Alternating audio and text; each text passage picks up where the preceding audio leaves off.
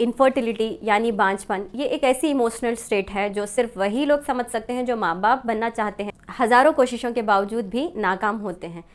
लेकिन इस प्रॉब्लम को सॉल्व किया जा सकता है जब आप खुद कोशिश करें ये चीज़ पर। इस वीडियो में मैं आपको ऐसे चार स्टेप्स बताऊँगी जो आपको फर्टिलिटी एनहांस करता है और एंड में एक ऐसा बोनस टिप भी दूँगी ताकि आपकी फर्टिलिटी प्रमोट हो एनहांस्ड हो और आप माँ बाप बनने का सुख उठा सकें। Aslam hello everyone this is doctor Tahira and you are welcome to my channel तो जैसे कि मैंने बताया था कि फर्टिलिटी को हम नेचुरली ट्रीट कर सकते हैं। इसमें एक चार ऐसे स्टेप्स हैं जो आपको फॉलो करने होंगे। फ़र्स्ट ऐसा है कि राइट right डाइट आपको लेना है। कोई भी चीज़ हो, आपके खान पान से कनेक्टेड है तो आपको अपना जो भी गज़ा आप लेते हैं, उसको करेक्ट करना है। फ़र्स्ट ऐसा है मेल्स में पर्टिकुलरली जब फर्टिलिटी इंक्रीज़ करना हो तो सीड्स एंड नट्स का इस्तेमाल करना है। सीड्स जैसे कि आप वाटरमेलन सीड्स है पम्पकिन सीड्स है पर्टिकुलरली पम्पकिन सीड्स मेल्स में फर्टिलिटी को एनहांस करती है। जैसे कि स्पर्म काउंट को इंक्रीज़ करता है मोटिलिटी बढ़ाता है और एनहांस करता है फर्टिलिटी अटेंड करने में। तो पम्पकिन सीड्स ज़्यादातर इस्तेमाल करें अलॉन्ग विद अदर सीड्स और नट्स तो आपको लेने हैं हर किस्म के, जैसे कि आलमंड्स हैं जितने भी ड्राई फ्रूट्स आते हैं, वो सारे आप ले सकते हैं। लेकिन पिस्ताचियोस, जिसे हम पिस्ता कहते हैं, वो वाला आप ज़रूर अपनी डाइट में इंक्लूड करें ताकि फर्टिलिटी अटेंड कर सकें particularly in man and women में जो पी से मुतासर हैं, उनको उस चीज़ पर वर्क करना होगा। एंड पीसीओएस पे मैंने अपना डिटेल वीडियो बताया था कि कैसे आप पीसीओएस को कॉम्बैट करें और नेचुरली कैसे फर्टिलिटी गेन करें। तो आप वो वाला वीडियो देख सकते हैं। प्लस वुमेंस को चाहिए कि ऐसी डाइट लें जो फाइबर रिच डाइट हो। क्योंकि जब भी हम अपने खाने में फाइबर इंक्लूड करते हैं, तब फर्टिलिटी इंक्रीज़ होती है। क्योंकि जितने ज़्यादा एक्सेसिव हार्मोन्स होते हैं, जो इनफर्टिलिटी को लीड करते हैं, वो वाले हॉर्मोन्स नॉर्मलाइज होने लगते हैं। अब फाइबर आपको किसमें मिलेगा? एनिमल फ़ूड में फाइबर नहीं है। फाइबर आपको मिलेगा प्लांट फ़ूड में।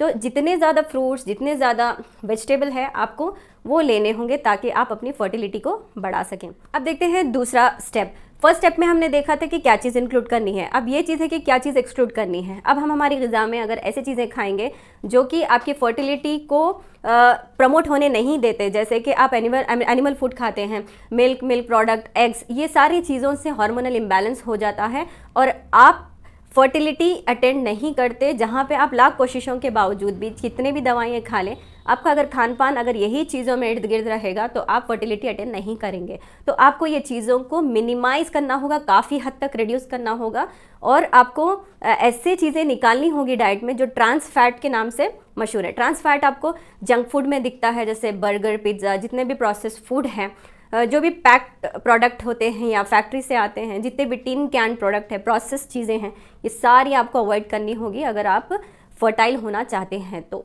थर्ड स्टेप है exercises no doubt exercise is a medicine हम एक्सरसाइजेस को काफ़ी लाइट लेते हैं. Exercises in the form of walking jogging running deep breathing हर चीज़ दिन भर का अगर 90 मिनट्स ऑफ़ एक्सरसाइज आप करेंगे तो हर किस्म की बीमारी से आप प्रिवेंशन तो मिलेगा ही, लेकिन आप दिन ब दिन बेहतर महसूस करेंगे. तो फर्टिलिटी को एनहांस करने के लिए दिन भर में अगर 30 मिनट्स ऑफ़ फ़िज़िकल एक्टिविटी भी अगर आप कर लेंगे तो वो आपके लिए बहुत काफ़ी होगा और फ़ायदेमंद होगा। क्योंकि जितने भी ज़्यादा हॉर्मोन्स होते हैं, जो फर्टिलिटी को प्रमोट करते हैं, वो बनना स्टार्ट हो जाते हैं और आपका जो फर्टाइल फैक्टर है, वो बढ़ जाता है। फोर्थ है मेडिटेशन रिसर्चर्स के मुताबिक बताया गया है कि जितने लोग कोशिश करते हैं माँ बाप बनने के लिए, लेकिन बन नहीं पाते, वो स्ट्रेस और एक तनाव से गुजरते हैं। पहले तो उनमें कुछ फिजियोलॉजिकल डिफेक्ट्स होते हैं, जिसकी वजह से वो माँ बाप नहीं बन पाते, पर एक ऐसा इमोशनल फैक्टर आ जाता है जो सोसाइटी की तरफ़ से होता है, जिससे एक तनाव स्ट्रेस प्रोड्यूस हो जाता है।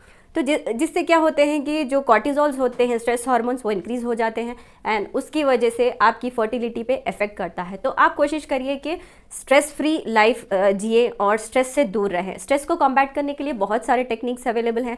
जैसे कि आप नॉर्मल आपका जो भी रूटीन है, आप एक एक्टिविटीज़ में इनगल्फ करिए, एक हॉबी मेंटेन करिए या फिर वॉकिंग जॉगिंग एक्सरसाइजेस के फॉर्म में इंक्लूड करिए। एंड स्ट्रेस फ्री रहने के लिए आप मेडिटेशन कर सकते हैं और डीप ब्रीथिंग एक्सरसाइजेस कर सकते हैं ताकि आपका स्ट्रेस दूर रहे। और जितने भी सारे दूसरे चीज़ें मैंने तीन फैक्टर्स बताए हैं, अगर आप वो लेकर आए तो आपका फर्टाइल फैक्टर ज़रूर बढ़ेगा। अब है बोनस टिप बोनस टिप में आपको ये करना है कि आपको जो इंटरनल हार्मोन्स मैकेनिज्म है, उसको ठीक करना है। उसको हम नेचुरली कैसे ठीक करें? Actually this technique belongs to sound therapy एक साउंड थेरेपी होती है जिसकी वजह से हमारी बॉडी में इंटरनल हीलिंग आती है और अंदर जो हमारे ऑर्गेन्स होते हैं वो वाइब्रेट होकर उसमें इंजुरीज अगर है इन्फ्लामेशन अगर हैं तो वो रिड्यूस होते हैं। आप एक नेचुरल प्लेस सेलेक्ट कर सकते हैं, जैसे पार्क हो, जहाँ पे आपको बर्ड्स की आवाज़ आते रहे या फिर नेचुरल कोई भी साउंड है वहाँ पर। वहाँ पर आप कामली बैठ जाइए। एक प्रॉपर पोजीशन जो मैं अब आपको बताऊँगी, वो वाली पोजीशन आपको लेना है और बॉडी में आपको साउंड जनरेट करना है। जैसे कि अब मैं ऐसी पोजिशन ले चुकी हूँ और मैं डीप ब्रीथिंग एक्सरसाइजेस सब कर रही हूँ।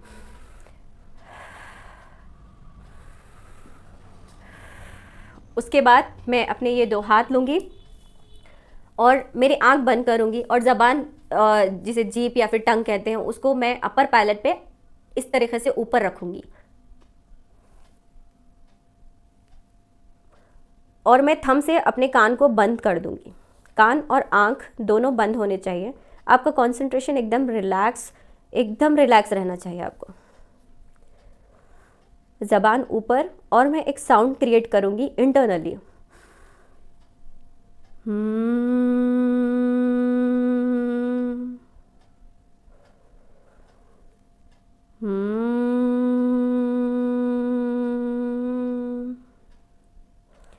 ये वाली टेक्निक आपको फाइव टू टेन मिनट्स तक करनी है। इससे ये होता है कि जो आप हमिंग साउंड जो इंटरनली करते हैं अपने अंदर, वो बॉडी में साउंड टकराते हैं हर ऑर्गेन्स को और जितने भी इम्बैलेंसेस है, उस इम्बैलेंसेस को ठीक करता है।